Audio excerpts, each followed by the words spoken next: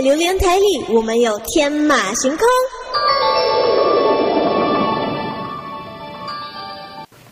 榴莲当头自有高照，早上好，我是威尔。哦，嗨呀，高在马斯达，我是恩慈，我是妍妍。哎，是，那今天呢是呃来到了这个呃七月十七号的早上八点钟。那是啊，我们刚刚用了不同的这个没有都是语，都是相同的语言来打个招呼了。啊，我说我说的是日语啊。你说的什么语啊？刚刚日语啊。日语是啊。那这个日语没什么样的特别。那我们现在有这个消息呢，要跟大家说了啊。这个其实呢，在你知道吗？其实有一些语言呐。它可以呢，就是如果说了久的话，或者更多人用的话呢，它甚至可以变成一个呃很特殊的一个语言，甚至可以变成一个新的语言。嗯嗯，如果你常用，而且它有一些呃比较多人用、比较特殊的话，变成新的语言了。因为这个情形呢，就证实在澳洲已经已经开始发生了。在澳澳洲北部呢，有一条比较偏远的这个乡村呢，就在近年出现了一种全新的这个语言。啊，它主要都是在村内的年轻人使用，啊，他们会会用的这个有他自己的独特的文法啊、规范啊等等这种新语言。根据这个《纽约时报》的说法呢，这种新进的语言呢，名为叫 War Warpiri Rambaku，是一种轻语言啊，这个叫轻 Warpiri 语。其实 Warpiri 语呢是当地的一种土语。啊，当地的土著所用的一种土语，呃，但是呢，这个呢，它是青蛙 piri 呢，是从这个蛙 piri 呢所所呃延伸出来的，就是年轻人呢，一般年轻人自己说说了就自成一格了，变成自己的语言了。那这个主要是在澳洲北部的一个偏远的村落拉加马努所发生的，因为这个地区呢，它是比较偏远。呃，你这个达尔文港以南大概八百八十五公里以外，没有正式的公路连接，所以每年呢十二月到五月的雨季期间呢是与世隔绝隔绝的，就感觉像像这个呃热浪岛啊，是在雨季时间呢是跟外界是完全隔绝的，它是这样子的一个地方，所以在当地呢，他们是以英语为基础的，啊，是以英语为为通常给小朋友他们教他是跟他说英语，而且呢还是以这个英语为基础的另外一种混合语呢叫 Creole。在三十五岁以下居民基本上都使用这种 WAPRI，而且其中有大概三百五十个人呢，更将这种呃刚刚我说的新的这个语言呢视为这个母语。它是怎么开始的呢？其实是在两千零二年开始呢，就观察有这个语言学家就开开始观察这个 WAPRI 了。他认为这个萌芽的时期的记录呢，他就写下它的发展。当时呢，在这个村落小朋友都学习这个英语。学习英语是为了方便跟外界沟通，但是家长也鼓励积极学习这个 Wapiri，就是当时他们的这个母他啊，他们部落的这个语言，所以他就视为一个文化的象征。学英语是跟外界沟通，但是学这个他们的族群的语言呢，是一个他们文化的象征。所以这些学生呢，他学习就用英语，但是呢，平时他们之间呢，是以这个亲 WAP 语互相沟通。那久而久之呢，这种就。呃，在他们的这个之间族群之间呢，尤其年轻一代呢，就成为了一种非混合性的一一种语言，而且呢，最独特的是，它可以拥有自己的文法规则，啊，所以从这个事件当中呢，我们看到有一个很特殊的状况，就是在于，呃，一个语言的产生，它有时候呢，它是在你用惯了之后，而且惯性大家都有一个认同感的时候，它就慢慢被接受了。啊，我们我们反观回在我们所用的一些语言啊，比如说像马来西亚的这个国语，马来西亚国语呢，其实是属于一个比较呃，我们叫很 unique 的。怎么说呢？呃，其实它是一个非常容易学的一个语言，它包容性也非常的大。呃，当初呢，在这个马来群岛的时候呢，呃，我们所用的这个国际的贸易语言呢，用的就是这个所谓的啊左左左蛙语。啊，就是这爪哇人他们所用的。那当初有人说，这个马来西亚的马来人也是来自爪哇，爪哇的这个这个马来人，所以就变成呃惯用那种语言。但是呢，因为在地性的关系呢，他慢慢呃有了自己的这个呃生命。跟别的语言跟原本的爪哇有点不同了，跟印尼语呢听起来有类似，但是已经变成一个姐妹语言。而我我们这个马来西亚的国语呢，因为它吸收度包容性非常的强，它甚至可以吸收这个英语，吸收福建话，啊，还有好多的这种不同的这个方言呢，慢慢的制成一个成为马来西亚语了，所以有自己的文法。所以这个语言是呃，它有它的这个呃，怎么说呢？呃，久了过后，你用惯了，它自己就产生这个生命了。嗯，像在马来西亚，有时候因为我们是一个算是多元种族的国家，所以我们会把各种语言啊掺掺，就是掺杂起来使用啊。就是我们也会把它这个语言呢，呃，称为 Roja 语言呐。所以这个也是一种语言，只是它是一个非官方或者是非正式的一个语言。但是它不能成为一个所谓的这个母语。你看，他们把这个，他们竟然可以把一个新的这个语言变成他母语了啊！英语呢是他们也是我们可以看到，其实英语是全球性的一个国际语言，它会成为一个关注，甚至连这个偏远地区的呢都会认同这个英语呢是主要官方的啊，能够和国际接洽接洽的呃呃怎么交接的一个语言，嗯，是这样。其实，在呃，中国四川吧，他们也有本地的方言。有。他们本地的方言，呃，有部分可以听懂，但是大部分还是听不懂的。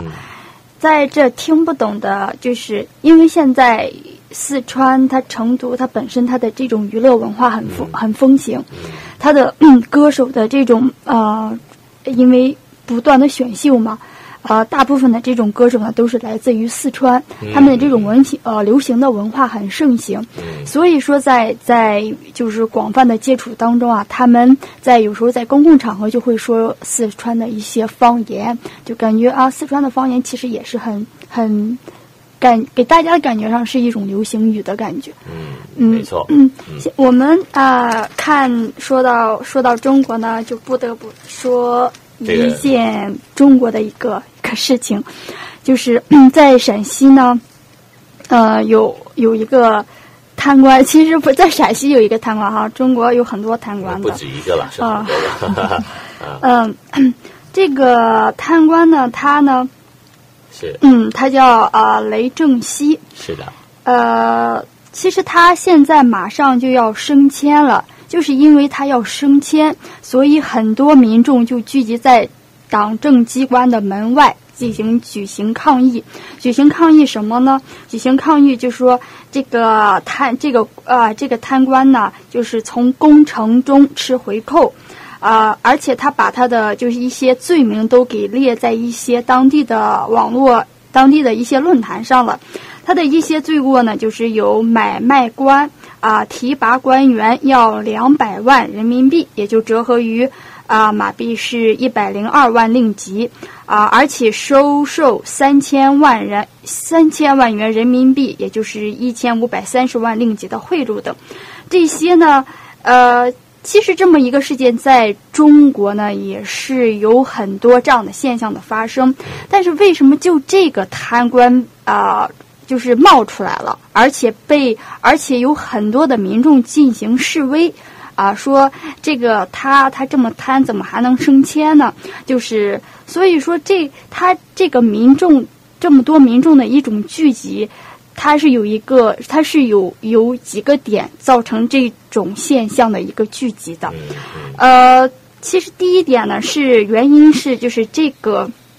这个呃，雷正熙这个这个书记吧，他之前的这位领导呢，叫做郭宝成，啊，是一个非常受人民喜欢的一个一个就是县委书记。在他当政，在二零零九年当政期间呢，他相继推相继推出了很多惠民政策，就是用政府政府政府结余的一些资金。啊，首先呢，在就是全民的免费医疗，就是整个这个县的全民免费医疗。第二点就是两年的。啊，十二年的免费义务教育，啊和啊人群免费养老的啊这种庞大的民生保障系统，所以说在他在这个前任的这个呃县委书记在政期间，他做了很多的好事为人民，但是自从这个这个贪官一上去呢，就是呃使使这些就是使。呃，前任前任是呃，这个县委书记留下的六百亿人民币，全都就是已经花费掉了，并且又负下三百亿人民币的债务，呃，而且即将就是免费医疗呢，要原原来的好多的优惠政策也被即将取消，所以人们才啊痛恨啊痛，就是这种有对比嘛，一有对比呢，人们的情绪就是就是很高涨。呃，第二点呢，它是由于一个网络的宣传，现在呃网络是很大的一个一个让人人民集会的一个促动力吧。所以说，从网上的一些微博啊，当地的一些论坛发表了人民各自不同的意见。所以说，由于这两个原因啊，致使了就是大大批的民众在在集会去去抗议这个，呃，这个就是这个雷震雷震西的这个提升的这个事情。是，嗯，而且可能其中一个原因呢，呃，会会影响的话，也是因为可能这个面子的问题吧。我不懂这个影响度有多大，因为本身这个西安呢，它是这个中国第一产煤大县，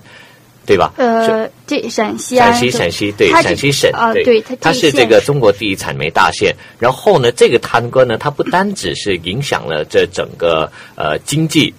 而且还让到这整个陕西呢，变成了这一个呃怎么样呢？是一个让人觉得说，哦，这个产煤这个事情呢，好像和贪污扯上了非常非常强烈的其关系。实，在中国陕西，只只是神木啊、这个县它是一个产煤县，啊。其他的地方还没有太听说多大的产煤，因为在中国产煤大县是山西，不是陕西啊是山山西。啊，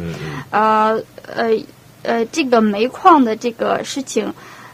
也许是有一定的作用，但是还是它的作用不太大吧。嗯，所以还是因为大家都在喊这个反贪嘛，那包括像这个中国，你提到这个贪污事情，也有一些呃不良商家啊，就趁着这个有一些呃发生了一些天灾啊，一些重灾区呢，就去贿赂。贿赂当地的一些官员呢，就是要卖这些药啊，这些等等，所以这些跨国公司呢也是非常的可恶哦。包括这个英国的公司啊，美国的公司啊，英国有这个 GSK，美国有这个呃 Merck，呃，日本呢也是有这个 Astellas 这几家的这个跨国厂商呢，呃，在中国的一些制药厂啊，就尝试行贿。啊，对这些呃呃怎么说呢？呃，官员啊或者相关的一些人呢行贿，为了就是可以提供更多的这些药呢到这些重灾区。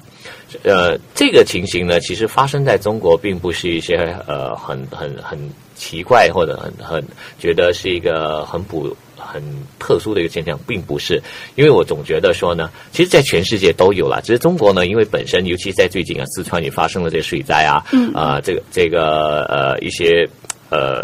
那些灾难呢、造成了有非常多的人呢，他需要这种医药学协助或者其他方面的一些援助。那需要这些援助的时候呢，有时候是这些商家呢，他就知道，呃，这些灾民有一些物品是他们的必需品，嗯所以他要提供进去。但是你提供进去呢，即使是给官官方是跟他们买的话，那官方也要去选择性的买这些商品吧，对不对？所以他们就可能呃用这种呃商业贿赂的方式呢，呃让自己达到把这个货品提供给这些灾区的这些灾民。所以我觉得是是一个在道德上是很不对的一件事情。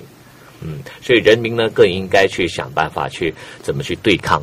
啊。如果人民要对抗，对，其实人民要对抗的不单是贪污，好多时候呢，可能也是跟这个种族啊之类的一些族群课题也是有一点点的关系。刚刚呃，妍妍有提到说那个呃，中国啊他们就走上就是赌那个呃贪官升官嘛。那在美国呢嗯，美国呢这边也是有一些呃民众出来做抗议的事情了。那为什么会有这一次的呃出现这个抗议的部分呢？就是因为啊，那个美国佛罗里的达州的那个警察杀害了一名呃非非裔的青少年马丁啊。那这个事件呢，是跟大家追溯一下，他是在二零一二年去年的二月二十六号六号。那这个警察呢，就跟这个马丁啊发生了一些口角啦。啊，然后呢，就是啊，最后呢，就杀杀杀杀害了这个马丁。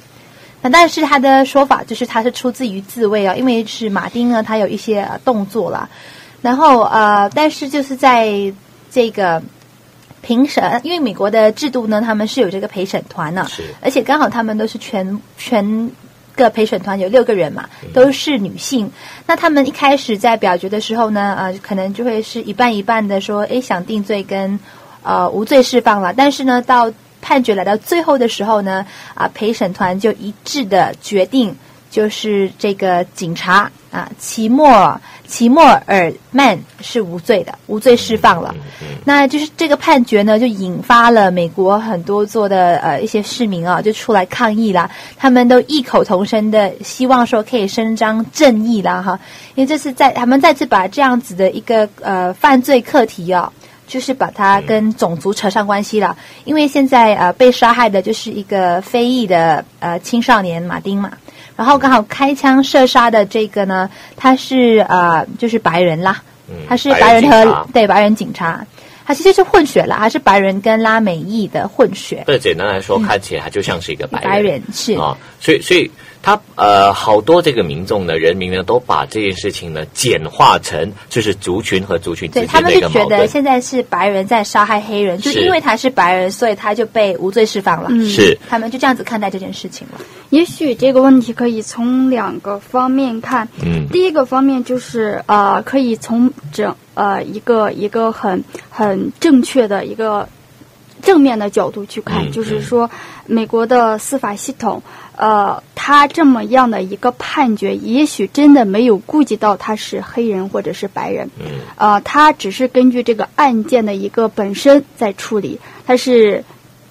没错的。也是很一个很公正的一个一个判决，他没有。在在他做这个决定之前，他没有考虑到他是黑人，他或是他是白人。这边做一个小小补充啊啊，因为在那个陪审团有在做啊受访问的时候呢，那他们这个陪审团里面其实其中呢是有五位是白人哦，还有一位呢是西语裔的女性，就是说西班牙语的这个。呃，他们说他们在讨论这个案件的时候是没有讨论到种族的问题啦，嗯，所以他不认为呢啊种族课题是在这个案件的决策呃。决定上面哈是有关联，但是哎，这么巧，这个陪审团刚好本来就在这五五位的白人女性了。嗯，我这边稍微做你的补充。嗯嗯，所以说他们也许真的是根据啊美国司法的一些呃条例和规定去判定这个案件的正确与否。嗯，但是另外一方面啊，在在在美国存在，也许是有这么另外一个原因，就是说。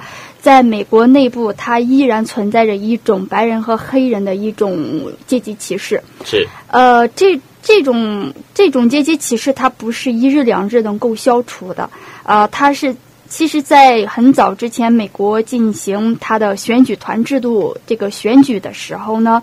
呃，它它这个选举团制度，它它根据它它也是主要的原因是。南部就美国南部的财团，顾及到南部黑奴的一些一些事情，提出的这个这个选举团制度的这个改革，其实在这个美国选举制度的这个这个制度里边，它隐含着就是对于黑人黑奴的一种歧视感。当时的制度是这样的一个一种考量，但是现在经过多少年之后，到呃迄今为止吧，也许这种黑人和啊，白人的这种歧视啊，这种阶级歧视，它。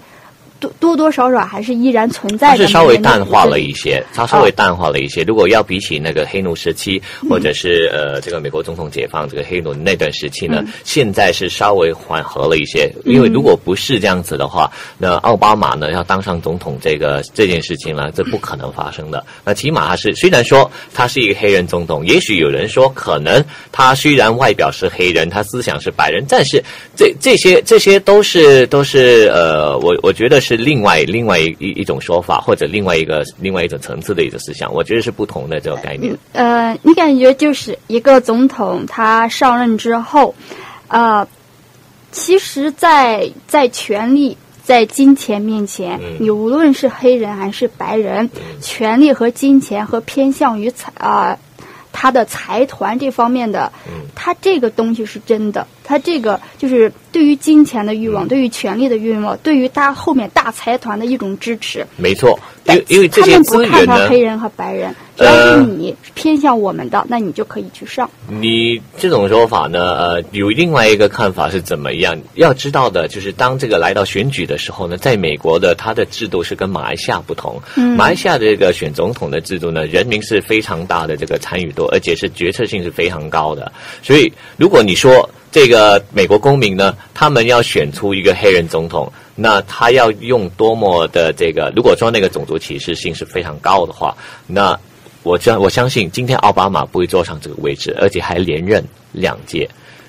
有，其实有另外一个原因，就是、嗯一是他在选举的时候，他符合民众的需求，嗯他就说我是个黑人，我可以争取黑人的选票，是啊、这是一方面的原因。嗯是呃，第二点可以给美国有一个正面形象，就是说我无论黑人白人，我都能当总统啊、嗯我们是多么的民主。是嗯你你说的是没错，所以从这一点可以看出来，即使是这个所谓族群关系呢，它还是没有达到一个很很理想的一个状况，但是起码在表面上，他们愿意让国外或者国际呢看到美国是一个和谐的一个状况。啊，所以如果比起在马来西亚的情形呢，可能就就不一样了我。觉得好像马来西亚就是还是标榜有一有点雷同的，嗯就是我们标榜着说啊，我们是三大种族，我们非常的和谐，我们融合在一块儿。但是呢，在种族课题上，我们还是潜伏性的，就是很容易像他跟他们犯的同一个一样，不是犯，就和他们有个同一个状况出现了。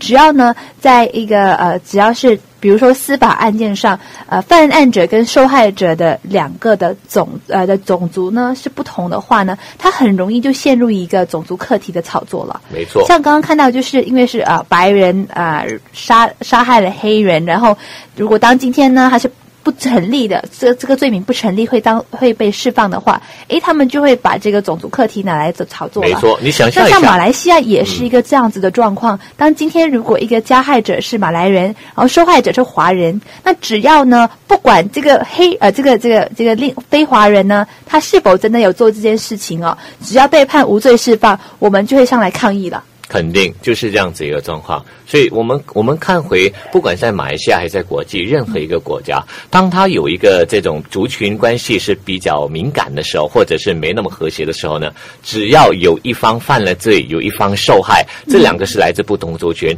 而那个犯罪呢，突然间被判无罪。那你就会产生这种所谓的矛盾了。但不单只在族群方面，在马来西亚，甚至呢，你回顾回回顾马来西亚哦，还包括了像一些和宗教有一些敏感的这种，也是非常的这个矛盾在啊。比如说像我们看到这个，还是说回这个性爱二人组的这个事情，你看就是对了，啊，第三我我次没没想到，就是我们这这个新闻呢，对，会联系了那么多天，还没还没完，还没完，呃，说了完哈、所以今天根据这个报道来说呢，呃，就这个怎么说呢？这个 Elvin 还有这个 Vivian 呢，两个人或许会被在煽动煽动法呃来提控了。虽然说这煽动法好像呃。废除了吗？其实还没废除嘛，对不对？所以有可能在废除之前呢，他还能用来提供这两个人。啊，所以根据这个总检察长阿布嘎尼呢，他就表示说，呃，这个从法律、事实和动机这几个层面呢，就会进行考量，是否会以这个煽动法来提控这两个这两个人了啊。按按道理来说，其实这两个人所犯的错误，嗯感觉这个法律对于他们有点有点严过于太。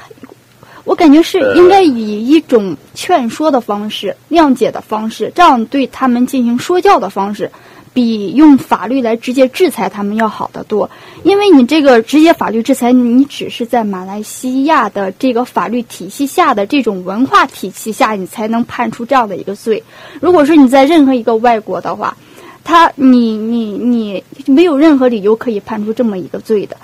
呃，我今天今天早晨我还想到这个性爱二人组的这个这个肉骨茶的这个事情，因为呃，我记得以前呢啊、在中国有一个菜就叫做呃叫做糖醋里脊。嗯。嗯，糖醋里脊其实一开始就是呃这个里脊是用猪肉做的，啊、一直是是这样的，所以是，但是慢慢慢慢的，你喝你可以在清真餐厅、中国的清真餐厅或回民餐厅，你可以看到糖醋里脊。哎，这怎么还出现糖醋里脊了？因为这个糖醋里脊是用鱼肉做的，或者是牛肉做的，啊、它就是清真的。嗯所以说，只有在这个文化体系下、这个法律制度下，它才可以成为这么一个罪名，是触犯触犯了某一个宗教。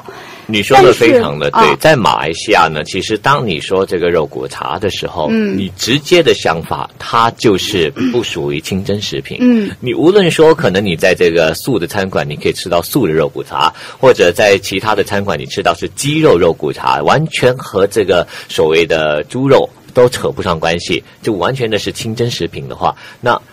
这个东西呢，在呃，它不属于一个很 common，我们说不是一个 common statement，它不是一个一般我们会所理解的事情。但是，所以它就在这边呢。当他提到用肉骨茶来喝开斋的时候，嗯你直接的想法就是这两个人脑袋有问题了。为什么？他就是要你明知道这个马来西亚的这个伊斯兰教徒是不能吃这个肉骨茶的，你还要用这个来挑衅我们。那所以我感觉应该是用一种劝说的方式、谅解的方式，对两个人比较更公平一些、更人性一些。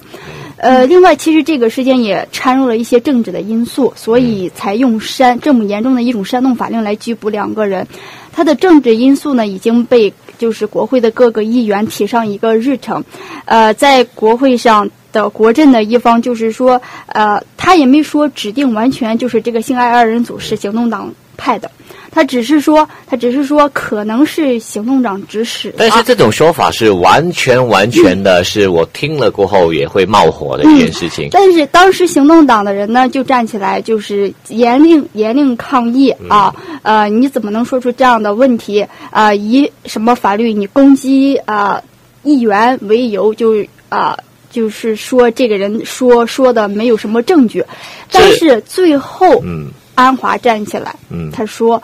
呃，这个在马来西亚这个国家、嗯啊，不允许任何人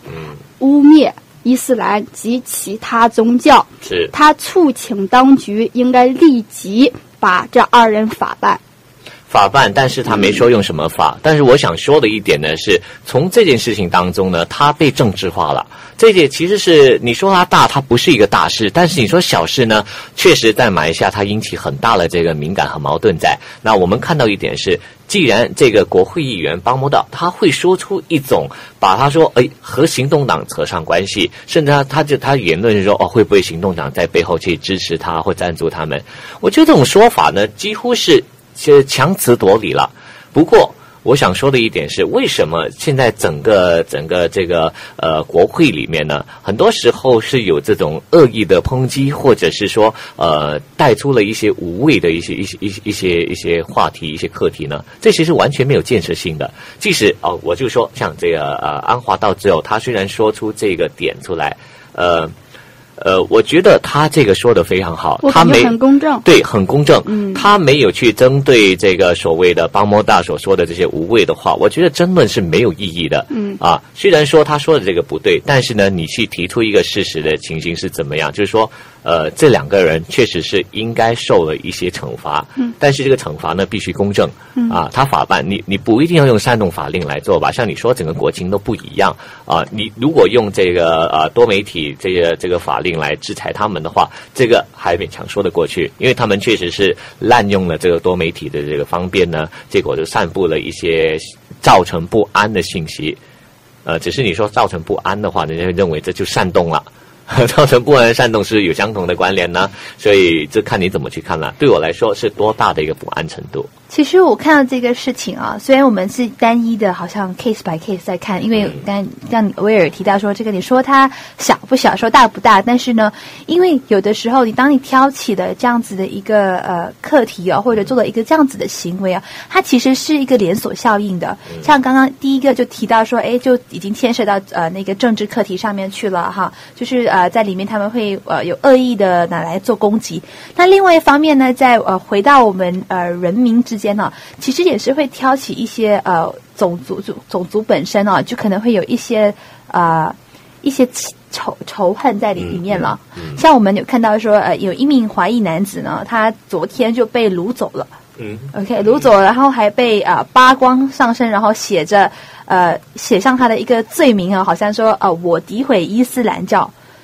所以呢，他其实呃，除了我们只是看到表面上，OK，这个人啊、他在网上呃散播了这个照片，然后呢啊、引起了一些呃警方的一些动作之外，其实在，呃人与人之间哈、我们相处之上呢，可能也是会有人想要进行报复的行动了，因为呢。呃有进一步，他们有警察有逮捕了这四名呃就是无意的男子，他们。对于一呃，对一个华裔男子呃做了这个掳走的行行动哦，好呃，警方在进行调查的时候呢，诶，发现对方也是冲着这个性爱二人组报复而来的。嗯，那是不是说这个呃这个人呢，就是这个受害者本身是在网上也做了相同的事情呢？跟这个呃 Vivian 还有这个陈洁玉是不是做了同样的事情呢？是不是说因为他也去支持他们，他在他网页上留下支持的语言，或者留下一些也是煽动语言，造成人家不满呢？还是说呃有其他原因在？因为我看到新闻说的是呃这个受害者呢，他否认。他否认他在网络上支持这两个人的关于这个肉骨茶喝灾的这个事情。呃，不过呢，这四个被捕的这个呃嫌犯呢，就说是因为这个人就是支持他，而且让他们觉得说呃他不应该这样子做。所以，所以我们看到他他已经开始延伸到外边去了。这个新闻，呃，政治人物的这个炒作呢，就造成了现在反而人民之间有一种呃那种所谓紧张关系了。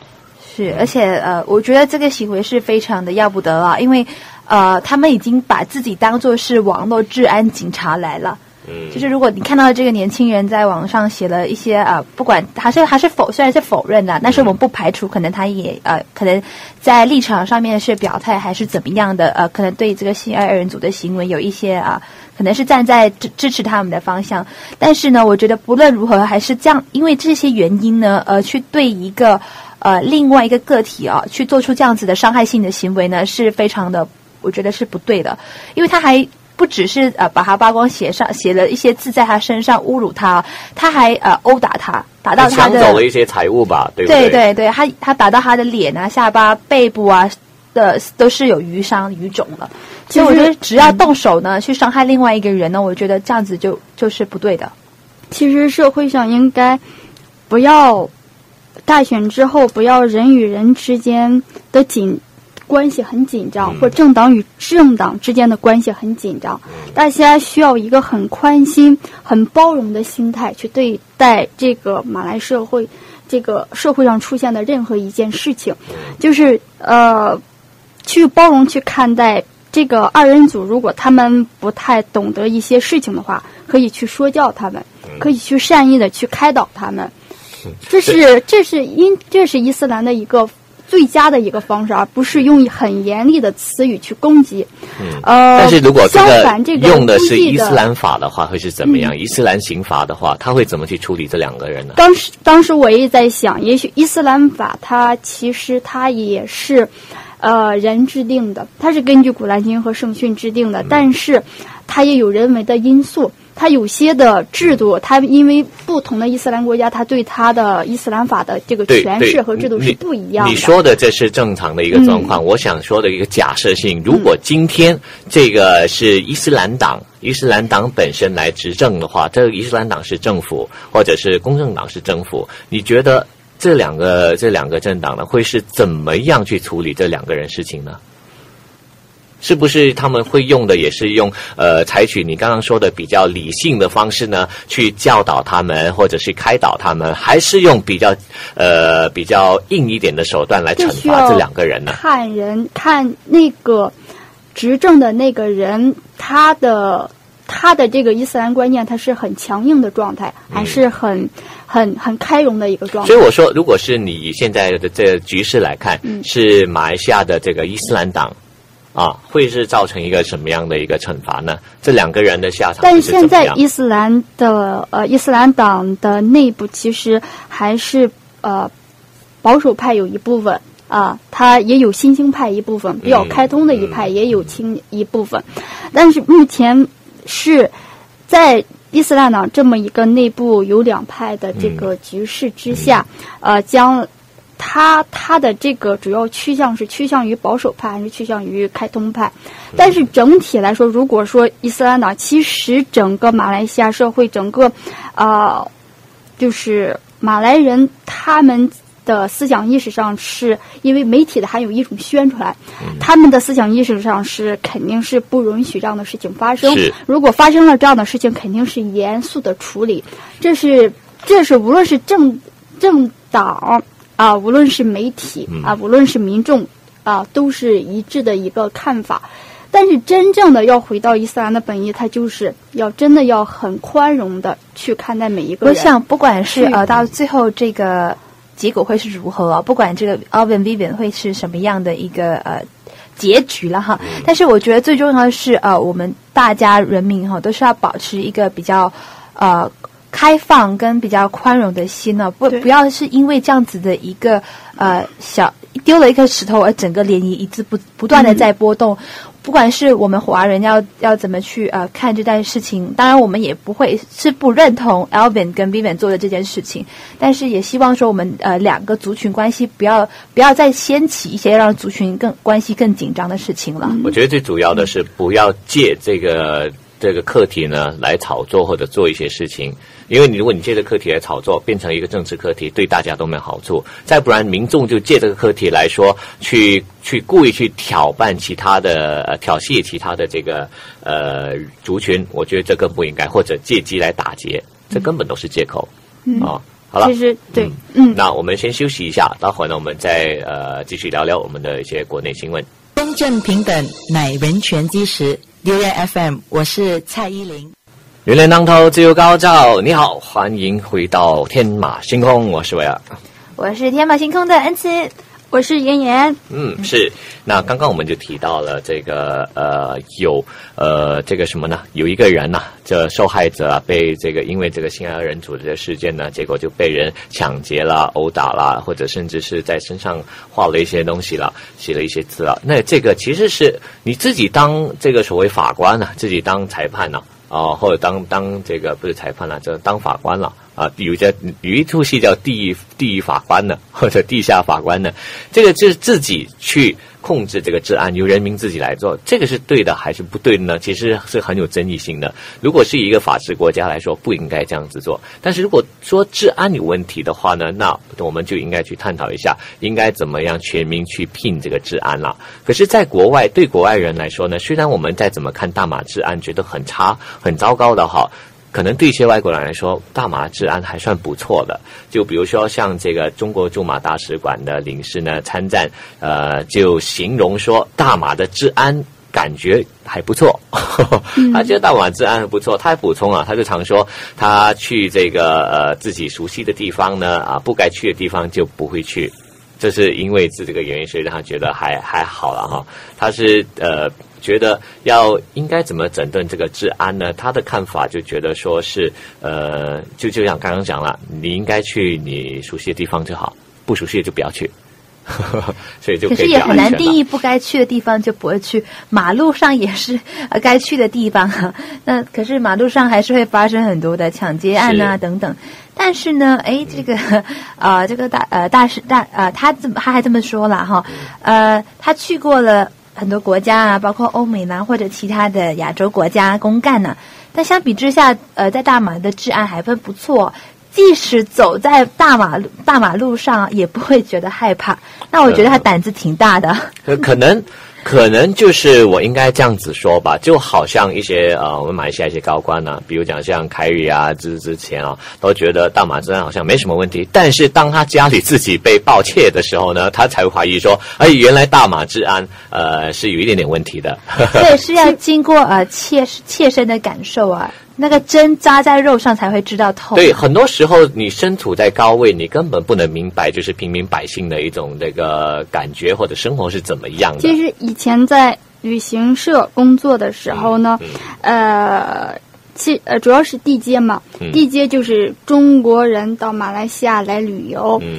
呃，当时的这个老板或者下边的这些导游嗯。啊，他们在中国游客来了之后呢，嗯都会给他们说一些呃，就是防盗的一些措施。啊，啊。就是你背包呢，你不要呃把包背在路的。那一边要背在里边，啊。要就往前挎包啊，不要随意听到摩托车响，一定要注意啊啊。呃之类的这样的一些警告。哦，所以所以一来到就首先先给他们的一个呃防范措施防范。措施就是要先防盗、防贼、防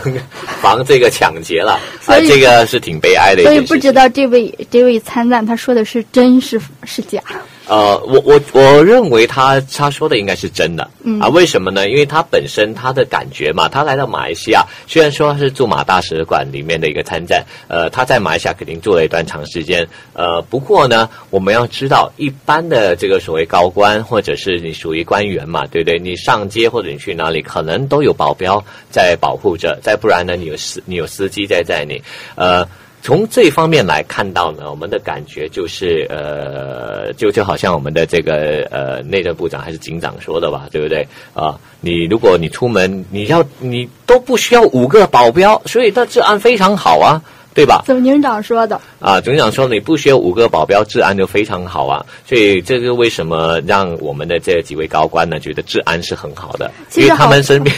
好多案犯应该多多去高官的家走一走，啊这样呢，高官就会有注意了。哎这个有注意这个说了呢，啊他的法律啊各方面他就会要改了。这个说法有点煽动啊，小心被煽动法令提供，因为我们去煽动这些呃盗匪呢，去高官的家里去去去盗窃，这个是不对的。其实盗窃本身呢是一个是一个已经不对的行为，但是我们要探讨的就是说，马来西亚的治安呢，到底是不是真的将好呢？其实，如果一般平民百姓的这个评分标准来说啦，如果是给我评的话，我只能够说是呃百分之七十是不好的。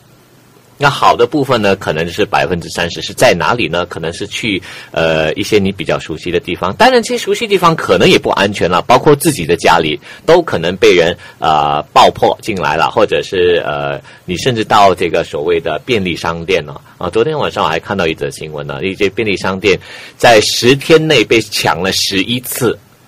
就是平均一天有一次半，或者是还差啊，甚至其中一天是两次，啊，每一天一次，然后其中一天是两次，这个每天来报道哦，这个这个我倒觉得很奇怪的是，这间便利商店有那么好抢吗？每一天抢一次，十天内抢了十一次，这个很难想象哎，是便利商店的问题呢，还是这个盗贼的问题呢？我个人觉得，可能这个便利商店也有一点点的问题。你被、啊你你不觉得奇怪吗？是在便利商店没有请保安呢、呃，你请了呃，可能没有请保安是一个问题，但还有一个问题是，你有报警了吗？如果报警了，警察有做什么吗？如果报了警过后，警察没做什么，这当然是警察的责任了。为了让那个呃犯罪率看起来是下降的，所以啊，应该可能警察会呃劝你还是不要不要惹这个麻烦、啊。哦，不要惹这个麻烦，所以隔天的劫匪就来了。哎，就每天那个劫匪是怎么样呢？啊，根据这个被盗的这个便利商店老板的说法是这样子哦，还有他的这个闭路电视所拍到的，这个盗匪基本上就是属于非常呃那个自由自在的，进出自如。怎么样进到里面可以开一包饼干来吃，吃了过后就那边喝水，喝了过后到他那个柜台去要钱，拿了钱过后就呃大大方方的、大大方方的走了出去，开车走了。他也不蒙面，他也不不不感觉很像是老板的儿子走进来 了自己的家，然后是拿他想要的东西。是，所以所以这个劫匪呢，可以猖獗到这种程度。那到底是治安有没有问题呢？那警察是做好他工作呢？当然，我们不是说怀疑警方没有做好工作，甚至有一个调查呢，就说呃，这个警方的这个呃效率怎么样？我是怀疑警方的工作的。呃，我们不能完全就是否定警方的这个工作效率。呃，但是他们确实有问题。如果出现这样类似的状况，而且土呃那个抢抢匪都大胆摇摇摆摆的来去自如的话，呃，这这是为警方脸上抹黑吗？哪有这样的一个事情发生？当然，这可能只是呃，只是其中一件事情啊，不能从一个事情的打完警方的这个、警方人力不足，现在。嗯 我还也看到一个就是抢劫的新闻，就是说这个抢抢匪呢追着一个人啊，呃，跑到这个茶茶餐厅，这个人呢进到茶餐厅转了好几圈，因为里面全都是在吃早餐的人，转了好几圈，没没有旁人也帮助他，这个。这个这个这个呃，这个劫匪呢，他就下了车，就追着这个人，不管别人就是外面有好多么好多的人，他就是这么追追追，到最后实在是跑不动了，呃，结果就是这个受害者呢就把所有的财财物和钱物都给了他，他也就骑着摩托车跑了。那如果以这样子来看，我们要以这个法法律来制制裁这些人呢，是不是是应该像我们的内政部长呃这个扎西所说的呢？应该要未审先扣。我不需要审判他，那这样子可以起了一个杀鸡儆猴的作用了。我我知道，OK，这个是嫌疑犯或者怎么样，我就要警察把他先扣留起来啊，不用审啊，先扣留起，直接先扣留起来就算了，现在不是那就可以打二十四小时可以扣留吗？呃，是可以的，但是呃，因为他说之前这个煽动法如果要废除的话嘛，对对，要以新法令来取代，他就说为什么罪案会提升呢？就是因为这个所谓的内安法令被废除了，所以但是它有宪法，宪法明文规定，就是说，如果你认为一个人有错误，你可以把他抓起来到二十四小时。如果二十四小时之后，你把他呃去见推事官，推事官、法官，法官如果说啊、呃这个人依然是有罪的，那可以继续把他扣留。如果说法官说你必须他如果这个就是审，这个就是有。审判了。他的未审先扣的意思就像内安法令，你根本不需要审讯的，我甚至可以扣留一两一年两年嗯啊，那你能怎么办？对吧？所以这个和坐牢没有分别的，就直接我不用审，我只认为你有问题，我就把你抓进监牢里面，所以很显然一两年。，未审先扣是不对的，因为在宪宪法里有那么一个合乎条理的一个法律存在着，为什么要有一个这样不审先所以扣的，法律所以这个说法就是你认为说这个内安法令是不合条理的、不合宪法的，对吧？但是它已经是呃，曾经是这个宪法当中呢，就是被修改过后，它是合理的，啊，被合理化了。对对对，这个紧急法令，呃，所以现在被废除了。现在我们要谈论的，他他这个大家讨论这个煽动法令是不是应该废被废除，然后用一个新的法令，即使这个新的法令有有被实行的话，呃，这个内政部长还是坚持说要未审先扣。但是那个我们的总检察长呢，呃，丹呃丹斯里阿杜甘尼却表示，他其实他的立场呢是不赞同这个未审先扣的新法令啦。那目前这个呃要取代了煽动法令的这个法的新的这个法案呢、已经完成了一半以上的草拟工作了。那但是他有呃非常的坚定的表示了，他从不赞同这个未审先扣的呃条文呐、那呃，有在想说，其实他有他有说过一句话、啊，他就说他引用了一句法律的谚语啦，宁可放走十个真的犯人，也不能啊、惩罚一个无辜的人。啊，这个我要给他一个掌声，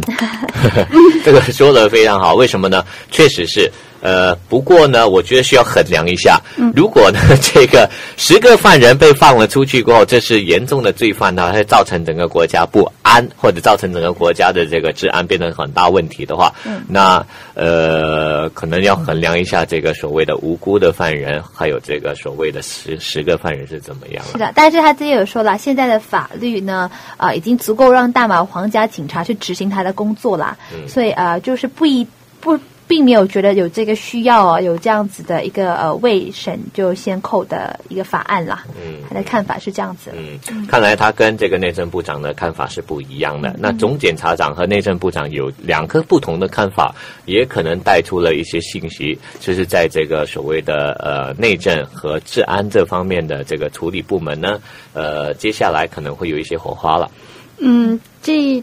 呃这这个事件它它不呃它反映的是一它表面上它它确实给大家一个很肯定的一个说法，呃说未审先扣不应该未审先扣，但是它呃它的背景呢，也许直接跟。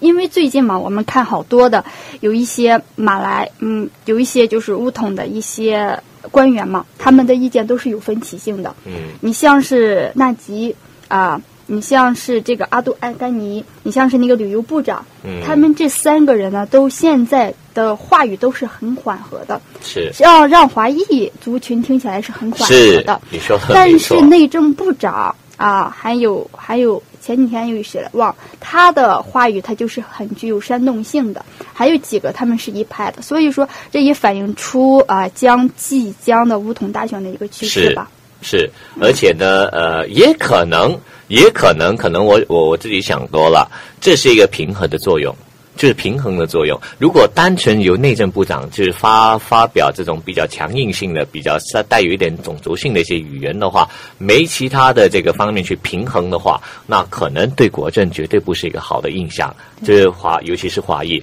那如果现在我们看到了阿布嘎尼出来说这这个话，他平衡了呃这个呃阿马扎希的这个说法，然后同时纳吉本身呢啊也针对这个优秀生呢啊的事情又说啊要要他别放弃啊，他会会在内阁讨论啊，哎，这些说法也平和了这个华裔族群的这个愤怒的这个心情，所以我觉得这个有一个平衡作用啊。如如如果啦，今天这个阿曼扎希，我们想想看哦，假设阿曼扎希他说的这些，他说的是倾向于对华裔有好处的话，或者对于呃这个不是这么这么这么强硬的一些说话，那我相信啊，我相信了哈，可能另一方面，阿卜杜甘尼今天可能说的不是这种话，可能首相说的也不是这样子的话了。我我我觉得他们可能要达到一个，在为了乌统党选的这个呃事情做一些争争争取的动作的同时呢，也去平衡目前刚刚大五零五大选过后的整个华社的或者其他社群的一个一个心情。要和解嘛？是，我觉得要无论是如何，总之是有呃不是总之就是无论如何呢，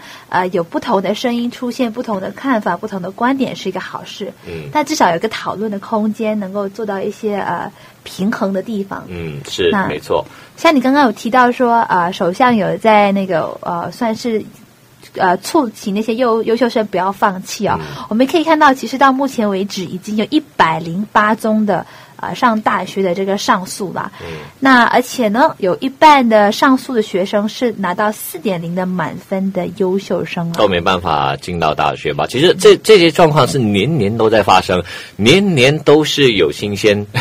有新鲜事情。那现在已经高，就是连呃这个四点零满分都没有办法进入自己所属的大学和科系了。呃，不过这边呢，我们想说的是这一点呢、就是呃这这个对我来说其实没有很大的新鲜感了，每一年都有，每一年都在发生。只是我们好好奇想要了解的就是这一次呢，呃。前任的这个呃教育部副部长魏家祥呢，也是现在的这个呃马华教育局的主任呢，啊，他就出来说话了。呃，当然以前他也出来说话，但是呢，这次说话就显得更高调了，因为马华不入阁了，马华也没什么身份了，啊，所以他这个这个说辞呢，就有一些高调了。他说。这个问题特别严重，马华非常重视，所以他们将会这个优秀生争取，确保他们能进入政府大学深造。这个说辞和去去年、前年、大前年都是一样的，都是一样的，所以没什么改变。但是到底他们真正能能够争取多少呢？啊，这个是另外一个另外一个呃问题了。只是马华现在还是很不甘寂寞，嗯，他真的很不甘寂寞哎。也许呃前面的报道就是每一年的报道，它的媒体夸张度也有一定的作用。嗯但是这个消息、这个新闻的真实部分，就是说他获考四点零满满分的有五十五个案例，啊、这个满分的案例，而且这个就是大部分的优秀生他们的首选科系是医科，如牙科、药剂系和医学系。但是同时啊，那个教育部的高等教育局总监拿督马西迪，他说呢，呃，这个他说学生的科系是按照绩效排列啊，百分之九十学术分，百分之十课外活动和所申请的科系而分配。要是申请人的成绩不高，所申请的热门科系极大可能无法被选上。所以这句话就让我很疑问。呃，那五十五宗已经达到满分的学生，难道他们的这个成绩不算是高吗？但是你不要忘了，它的还有十百分之十的是课外活动的分数啊。那呃，除了我觉得除了四呃，除了那个成绩是四点零满分之外呢，其实还有其他的考量。可能其他的呃，可能我们要看回去说啊，其他有被入选的，可能他们成绩也是四点零满分，但是他们可能在课外活动上面可能又占了一些啊、比较优势的分数。那可能还有其他的呃这个考量点呢，所以才会有其实呃这个时候教育部应该出示啊，你不你不接受这些申请人的这种满满分的这种申请的话，那你可以举出你录现在目前所录取人的成绩是怎样的。我觉得应该要一个标准。以目到目前为止，到今天为止哦，就是我们根本不知道这个标准呢是怎么样，它根本没有透明。到底这个录取率的标准是怎样？是不是说你现在成绩是满分四分满分，然后你的课外活动呢，你达到多少分？可能八十多分你才能进啊，或者是你要全部满分你才能进大学啊？如果是这样子的话，那我相信。今天的大学生的这个水准会提高很多，为什么呢？因为没多少个人做到全都满分啊。是，那如果你不是全都满分的话，那你的标准在哪？你总不能说哦，因为你这个我们都知道是说你说绩效制嘛，没错，绩效制是很好的，但是绩效制的这个它的这个透明度有多高？到底是因为你个人，或者是可能某一些录取的这些官员呢？呃，带有还是有一定的这个固打心态来去做一个绩效制，那就你的绩效制是没任何意义的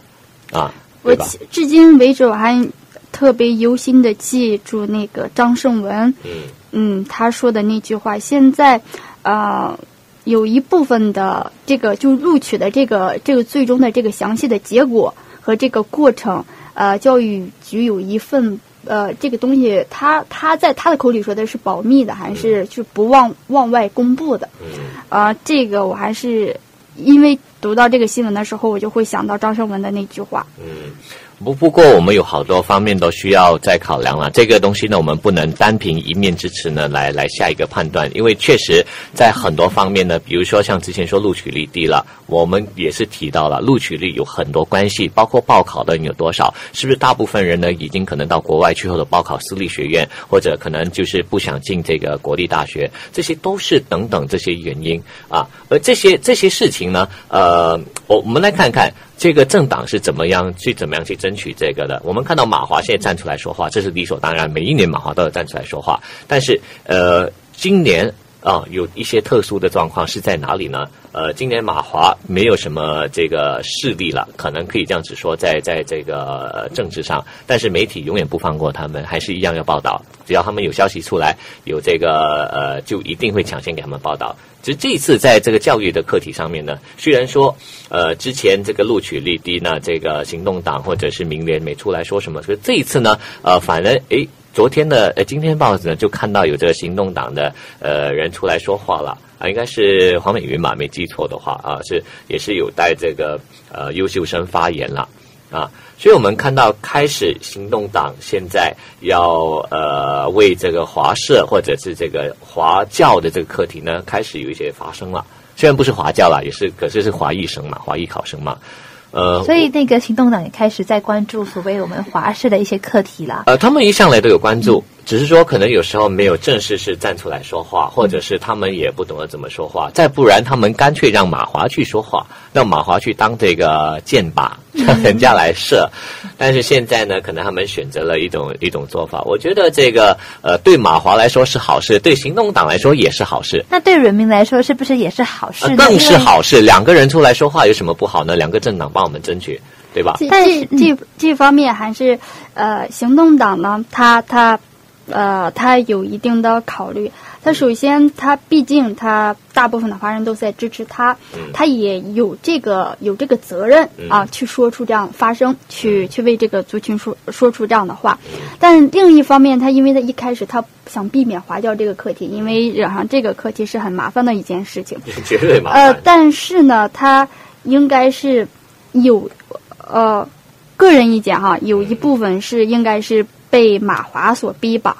嗯嗯，因为马华在那个金武华小的课题上，因为马华一开始是在这个机场街课题上，嗯呃，行动党占上风了啊，三三万多个签名占上风了啊，马华就退出了。退出之后，他转到金武华小这个课题上。是，精武华小课题上呢，呃，行动党就在旁边看着啊。嗯但现在又是这个学生的问题啊，高考满分学生的问题。那么